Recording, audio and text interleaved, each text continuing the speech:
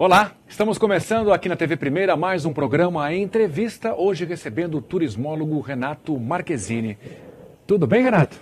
Tudo bem, muito obrigado. É um prazer enorme poder estar aqui com vocês. Prazer é todo nosso. Renato, eu vou começar falando de dois eventos que estão chamando a atenção dos brasileiros e do mundo inteiro: Copa do Mundo e as Olimpíadas. O que, que você vê, vislumbra com esses eventos aqui no Brasil? O que, que podemos ganhar? O setor pode realmente ganhar aquele gás que está precisando?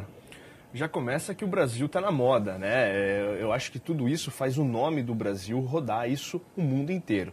Então hoje é, o Brasil é, aparece lá fora oportunidades, tanto a questão hoje do petróleo, que se fala muito da questão do Brasil, mas já começa, a gente começa a perceber o pessoal de fora observar as nossas praias, as nossas belezas naturais, as nossas belezas históricas. O desafio agora é se preparar para receber essas pessoas com qualidade. E há mão de obra preparada no setor do turismo para poder dar aquela recepção que o pessoal realmente precisa, como todos os países que uhum. exploram o turismo? Nós temos muito que aprender ainda, né? Até porque o turismo organizado ainda no Brasil é algo super novo mas existem pessoas altamente qualificadas para receber as pessoas com excelência. E, inclusive, assim, o governo percebendo que existem algumas deficiências ainda, inclusive vem capacitando muitas pessoas dentro desse processo. Um dos exemplos é o Pronatec Copa do Mundo, né? Que vem, eh, nesse momento, é, capacitar pessoas que vão trabalhar. Desde a questão de um hoteleiro, de um taxista, de um guia de turismo, de uma agência de turismo, nos meios gastronômicos, né?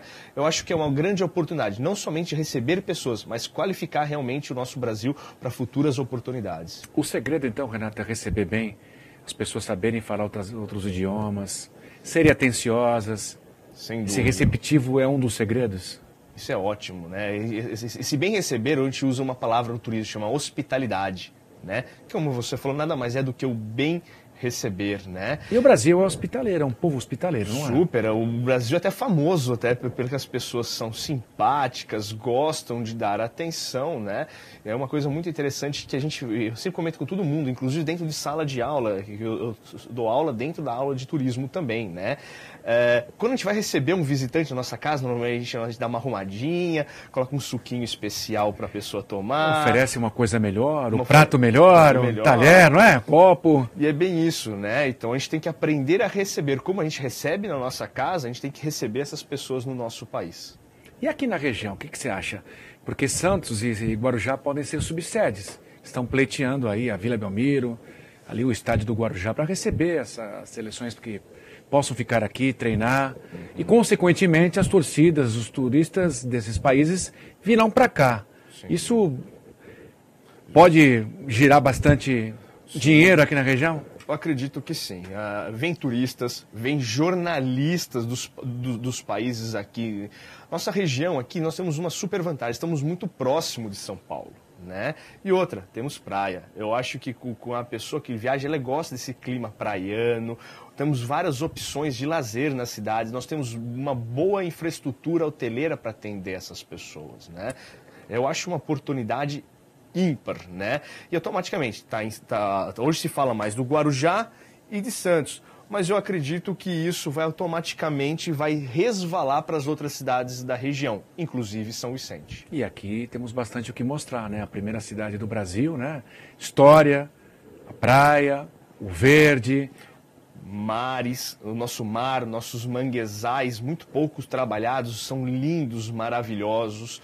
Algo que eu também gosto muito na questão aqui na cidade de São Vicente, também ainda pouco buscado ainda, é a questão de muitas vezes trabalhar com comunidades. Hoje em dia, uma coisa que vem crescendo no mundo é o turismo com base comunitária, que é isso, é a possibilidade, muitas vezes, quando um turista vem para cá, não necessariamente ele quer ver um atrativo turístico, mas ele quer sentir o Nem ele sempre quer... quer ver o melhor, então é isso? Ele quer, ele, ele, quer descobrir o que o brasileiro come. Ele vem vir aqui, ele vai querer comer talvez aquele arroz, aquele feijão, aquela salada de alface com cebola, que a gente come um bife, batata frita. Então ele vem buscar o turismo essência nosso, né? Ele vai muitas vezes querer descobrir como que é andar dentro de um transporte público na cidade.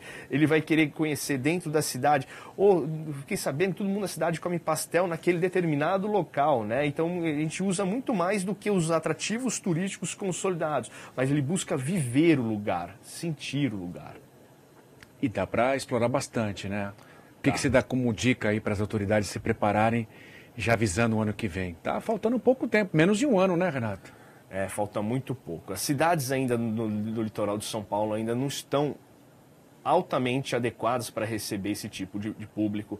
Algumas coisas ainda precisam ser ajustadas. Vou, vou começar pela questão da gastronomia.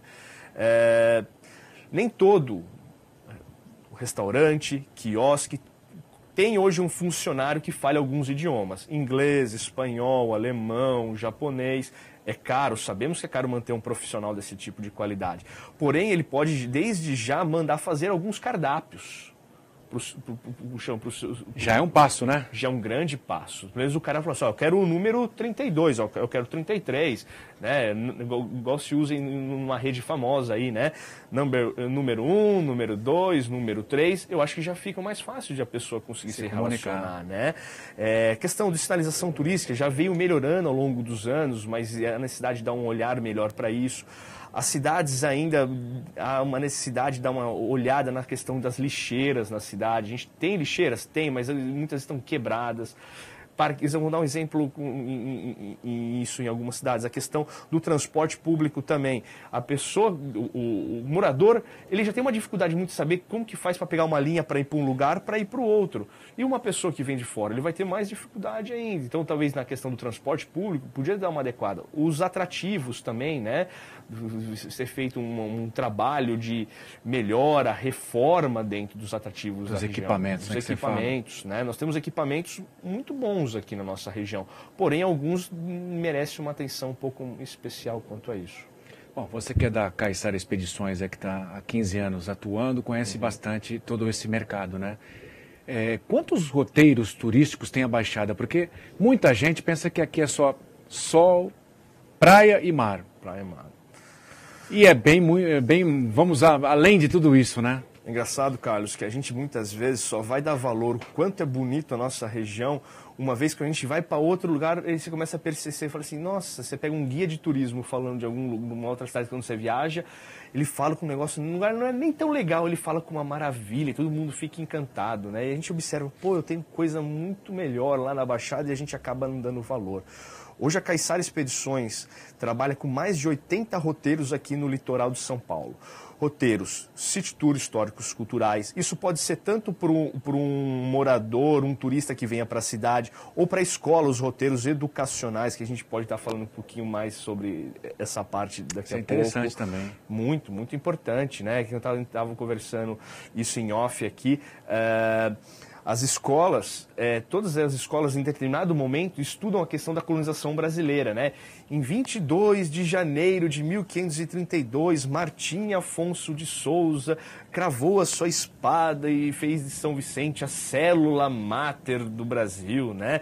Estuda sobre o Tibiriçá, João Ramalho, o padre José de Anchieta, Leonardo Nunes, Manuel da Nor, Companhia de Jesus, o ciclo da cana, os engenhos da nossa região, as fortificações da nossa região. Então a gente começa a perceber que o estudo estudante, dentro do seu ciclo acadêmico, ele estuda essa área. Por que não a gente conseguir trazer mais escolas aqui para a nossa região e fazer ela? É importante essa parte acadêmica dentro de sala de aula. O que está no livro é importante, Super. mas a prática então, hein? É ótimo. Ele vai respirar o cheiro da primeira cidade do Brasil. Ele vai enxergar, ele vai ficar na, na, na Gonzaguinha, olhando entre o, a Ilha Porchá. Vendo a nau chegando. E o, e, o Parque Estadual Show. As naus, a gente né? pode olhar como se tivesse as naus, a, a, caravela e a nau capitânia chegando, né? O encontro de, de João Ramalho e Tibiriçá junto com Martim Afonso de Souza. E ali a gente já fala, pô, em 22 de janeiro, não deixa de vir, voltar. E na questão, é, não é só trazer, é fazer esse cara voltar voltar a trazer mais gente. Vem para 22 de janeiro aqui, nós temos uma encenação que é um produto fabuloso também dentro da cidade. Na minha concepção, é um produto único. É um produto que dá para vender isso internacionalmente. Único no mundo, né? O maior espetáculo em areia no mundo, no né? No mundo, é sensacional. Os roteiros náuticos, nós temos o nosso mar aí na frente para fazer tanto passeios de lancha, de, nós temos roteiros de veleiro aqui na nossa região, roteiros de pesca, roteiros embarcados em canoas, isso é algo sensacional. A gente vem vendendo, nós temos um passeio chamado Canoagem Ecológica no Manguezal. Esse mais, faz mais de 10 anos que nós operamos, operamos esse roteiro. pessoas do mundo inteiro já várias televisões do mundo inteiro já fez gravação nesse lugar. Então a pessoa, ao mesmo tempo que ela conhece a prática do remo, por incrível que pareça, nós vivemos num país de mais de 7 mil quilômetros de costa, lagos, estuários, e o povo brasileiro é um povo muito terrestre não aproveita as questões náuticas que nós temos aqui, né? É, as belezas do manguezal, a flora, fauna, guará vermelho, colhereiro, socó. Então, ao mesmo tempo que ele vai é, fazer uma prática esportiva, ele aprende o quê? Ele aprende as questões da natureza, a Mata Atlântica, os seus ecossistemas associados. Exemplo, o manguezal, que é o berçário da vida marinha. Então, deixa de ser um roteiro só contemplativo e esportivo, ele é um roteiro cultural e ambiental também. Né? Os voos de parapente, de asa delta na cidade de São Vicente. O Parque Estadual Xixová Japuí, né, é, que nessa semana está fazendo 20 anos de existência. O, o, o, horto, o antigo horto, que eu chamo Parque Ecológico do Voturuá, lá em cima, hoje existem três trilhas que já está aberto para visitação. Nós operamos é a trilha da Pedreira, a trilha do Pico do Urubu e a trilha do Bicho Preguiça. Uma de 900 metros, depois outra de mais de 700 e a outra concretizando em torno de 1.200 metros de caminhada, dá quase 3 mil metros de caminhada, dentro da Mata Atlântica. O melhor visual da, do Gonzaguinha é em cima dessa trilha da Pedreira. É lindo ver a Baía de São Vicente lá de cima. Do Pico do Urubu dá para ver toda a zona noroeste de Santos, né? Tudo dentro da cidade de São Vicente. Isso não estou falando nem da área continental de São Vicente. Paratinga, que tem a área rural lá, né? Rural. Acaraú. Nós temos um lugar lá que é, é um antigo engenho, né? Que era o, o engenho de Santa Ana, inclusive onde Frei Gaspar de Madeus, um grande historiador, viveu por muitos anos ali, de uma pinga super famosa, muitos anos atrás, que se, era um engenho que tinha ali no lugar.